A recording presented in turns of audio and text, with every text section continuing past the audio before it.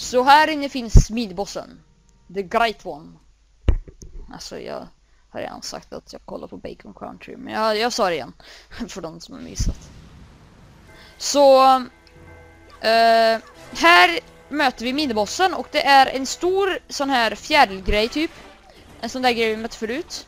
Innan. Detta rummet typ. Och... Ja, det, du, du kan flyga. Så det är skillnaden och den, då, det gör den lite svårare. Så vi, nu fick vi ner den och det, nu blir den superenkel. Nu är det som den vanliga förut där. Så, där klarar vi den. Nej, okej, okay, den har mycket liv. Så ja. Um, så det var ju inte allt för svårt. Och då får vi sen en grej. Som, om vi slår sönder den så får vi olika många grejer typ.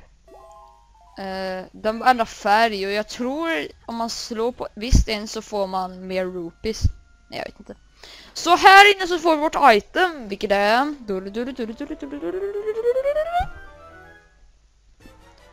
Pomerangen! Så nu kan vi skjuta de där grejerna eh, som vi bara var tvungna att använda item förut med bumerangen. Så bumerangen kommer bli väldigt användbar i detta dungeon. Jag ska faktiskt byta de två. Eh, jag tycker det är användas då. Eh, lättast att få. Hallå! Varför byter du inte? Ah!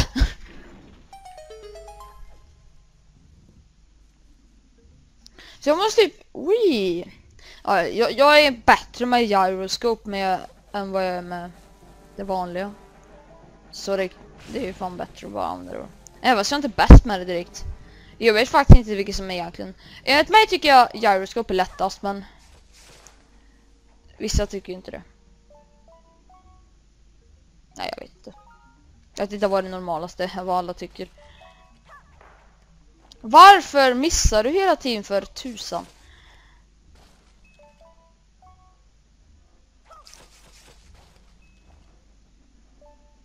Så.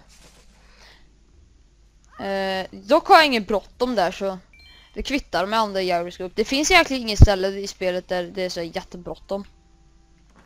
Med att skjuta alltså. Det går bra att använda sånt här. Um, så här så ska vi skjuta, nu kan vi skjuta ner denna. Så. Och så går den runt så. Och så skjuter vi ner den till den våningen vi ska till för att få bossstickern. Så vi är ganska nära på att vi klarar med detta dungeon inte. Vi borde nog klara med detta i detta avsnittet. Eftersom jag klippte avsnitten innan jag gick in i minibossen så tror jag. Det, det är lite mm, kanske, men ja, exakt. Eh, så, men hallå, kan du... Varför siktar de inte in för?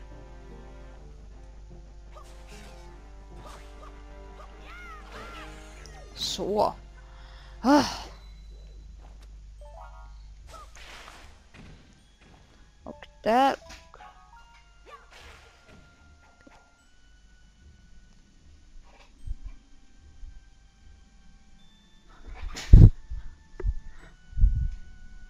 Um, så nu så ska vi, ska få bort de här för vi, det, vi kan inte hoppa på de här plattformarna. Jo vi kan säkert men det blir mer irriterande.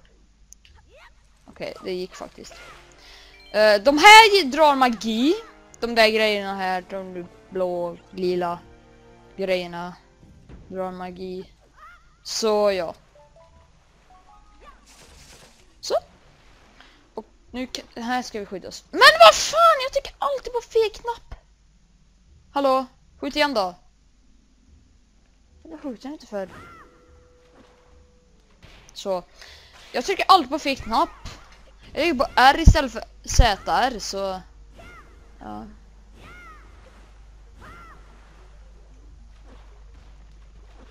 Kom igen då. Så... Men de träffar den. Oh shit. Men vad fan! Hallå kan du röra? Är det så?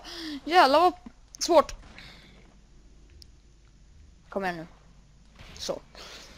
Uh, där klarar vi. Inte så mycket problem. Hallå! Varför styrs den inte för? Jävlar vad problem, mycket problem jag har med att styra med den där. Oh shit. Det var nära. Så de där drar ju som sagt och det är bara att springa förbi. Så här inne har vi bossnyckeln. Men vi måste, ja nu kommer det svåra lite med gyroscope. Jag måste typ snurra runt ett helt jävla varv för att kunna göra detta. Nu ska vi se. Så jag brukar alltid börja här för annars finns det en risk att du missar. Så, okej. Okay. Jag tycker detta rummet är lite jobbigt med gyroscope men det funkar. Uh, så här inne finns ju såklart kistan med bossnyckeln så ja, bossnyckeln med ett öga. Det är lite konstigt egentligen. Jag vet inte varför de valde just att sätta ett öga. De hade det i Spirit Tracks och um, Phantom Hourglass också. Fast då var man tvungen att bära nycklarna vilket var väldigt irriterande. Så nu möter vi såna här gubbar. Vilket är jävligt irriterande. NEJ! Ah! Jag såg, jag såg det lite för sent att han skulle slå för fan.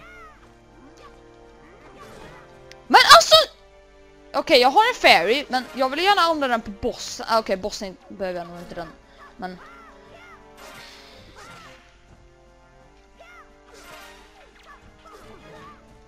Alltså, what the f... Varför har så mycket problem? Det, det här kommer bli mycket svårare sen. What the fuck? Okej, okay, jag, jag klarar den precis. Huh. Så där ser ni att vi fick mycket rupees. Det, och vi fick bara en rupee av den andra. Vad fan. Uh, så vi, nu ska vi upp här för den andra gången kan vi faktiskt inte gå igenom. Och det är egentligen, det, det går mycket snabbare åt detta hållet också. Så det, ja det var, men hallå kan du? Varför är det så svårt för dig att styra gyroscope Alex? Det är typ den lättaste kontrollen i hela spelet. Och du failar på det. Det är ju typiskt mig, egentligen. Och det där livet var gött att ha. Och här kan man egentligen bara simma för att göra det lite snabbare. Så. För vi ska ut här igen, för bossdörren finns faktiskt en våning högre här. Shit. Så som ni ser där finns bossdörren.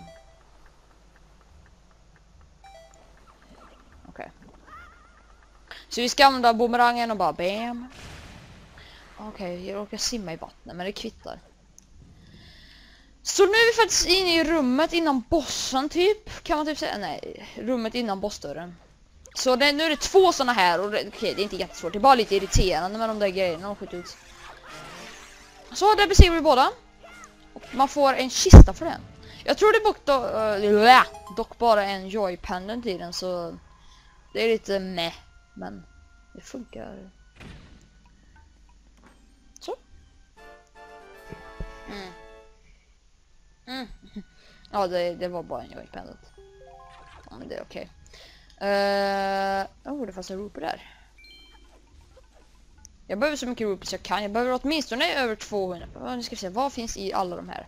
En sån. En sån. rupees, rupees. Åh oh, nej! Okej, okay, hjärta. Men vad fan! Eh, jag, eh, jag, där finns fairing ja. Det finns en, den fairing behöver jag ju inte en botten för jag har bara en. Ja, jag tror det är så många jag kommer ta. Jag vet dock inte om man får något mer nu kommer jag på. Jo, en till vet jag man får. Det, det är en story-grej tror jag. Eller, man får hos sin mormor. Vi ska dit igen ja. Så, ja. Kan du gå av mig, tack? Seriöst, de är ju fan överallt!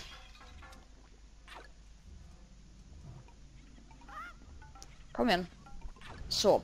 Den där kan vara väldigt bra att ha. Ifall någonting skulle hända. Så jag ska spara.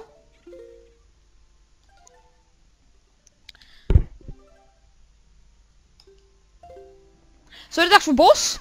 Så då kör vi.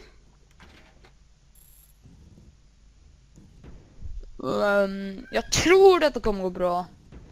I'm not sure though.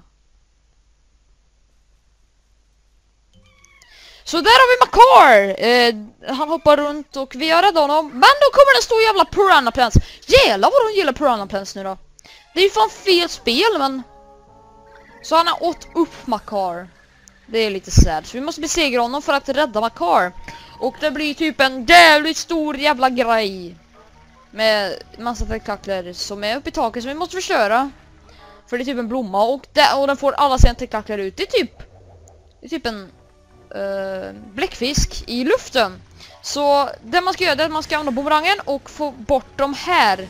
Så att man kan oh, fan, ramla ner.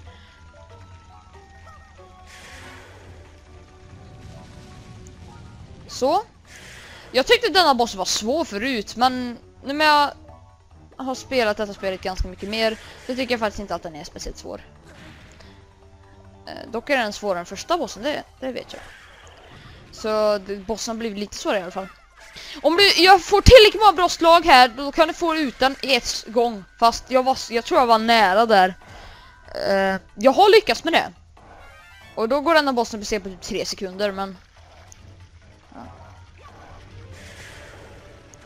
Så jag gjorde jävligt mycket skada på bossen där. Och jag brukar bara stanna med den ät, med den eh, äter upp mig. För så farligt är det faktiskt inte med liv. Och ja, så säger jag men jag förlorar två liv på denna bossen. Och två till. Hallå, så. Så då ramlar den igen. Och jag tror vi har besegrat den. Ja, om det inte gör så. Så ja, det var ett slag till ja. Fan om jag hade fått till det. Så då klarar vi andra bossen i spelet. Den är väldigt kort, bossen. Men den, den, den är svårare än första. För att den är så kort. Så eh, den här blomman blir... Den dör. Och så blir eh, virvar i mitten. Så där, nu räddar vi Makar, min favoritkaraktär. Uh, eh, så ja. Fast han är med i det jobbigaste dungeonet spelet sen, så... Det blir inte jättekul att göra det direkt. Jag bara klarade det dungeonet två gånger så... Ja, det blir ju ett problem. Men, eh, så vi klarar detta dungeonet, gå ut med Makar. För han följer med, som ni ser här.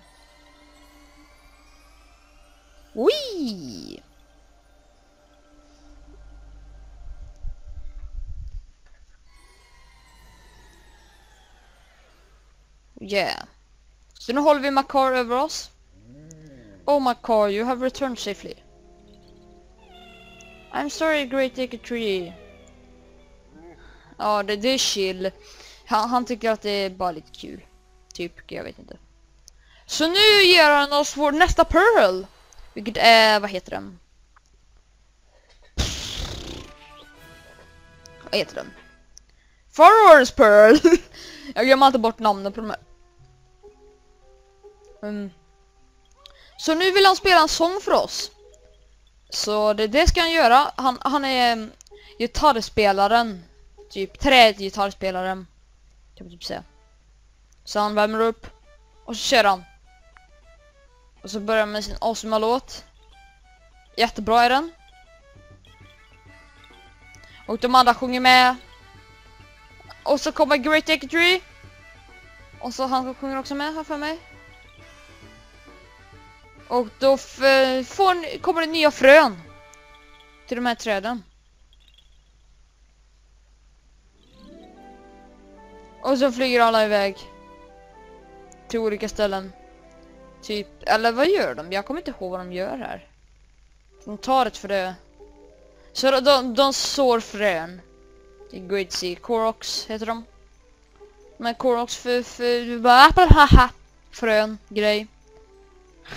Jag vet inte.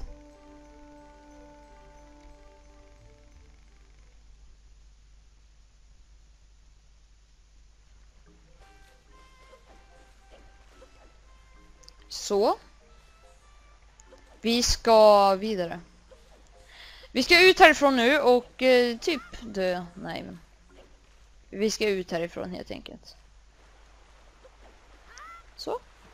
Så nu är vi ute. Och bara simma ner till början igen. För nu är vi klara faktiskt med Forest-saven. Det är jävligt kort detta stället. Eller egentligen både, både första och andra området är jättekort. Det här är bara sjunde avsnittet. Så, och vi har redan gjort två tempel så... Ja, ni ser, detta spel är ganska kort. Eller första delen av detta spel är ganska kort. Är detta kortare än Mirror's Mask? Ja, detta är kortare än Mirror's Mask. Eh, så här får vi ett brev med eh, en heart piece. Yay.